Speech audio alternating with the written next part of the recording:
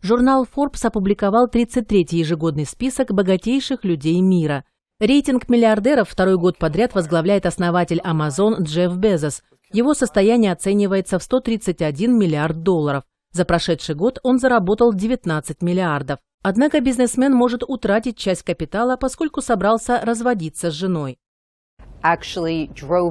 Она работала бухгалтером в Amazon, когда только появилась эта компания. По законам штата Вашингтон она может получить половину его доли в Amazon. Если это случится, то она станет богатейшей женщиной мира. Следующие два места снова заняли Билл Гейтс и Уоррен Баффет. Основатель Microsoft заработал 6,5 миллиардов долларов и увеличил свое состояние до 96,5 миллиардов. Баффет потерял полтора миллиарда. Теперь в его владении 82,5 миллиарда долларов.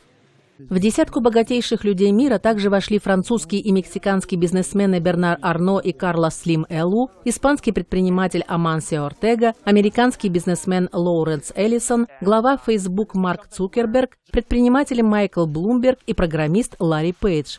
Самым молодым миллиардером стала 21-летняя звезда реалити-шоу и бизнес-вумен Кайли Дженнер. В 2016 году она запустила бренд по продаже косметики, а в минувшем году сумела расширить бизнес. Мы называем ее первым миллиардером, разбогатевшим самостоятельно. Она показала, как можно строить бизнес в наши дни. Она взяла 250 тысяч долларов и создала бизнес-модель. За прошедший год из списка выбыли 102 китайца, но им на смену пришли 44 новых китайских миллиардера. В списке Forbes по-прежнему присутствует и Дональд Трамп. У него остались те же 3 миллиарда 100 миллионов долларов, что и в прошлом году. Но, по мнению журнала, он укрепил свой бизнес.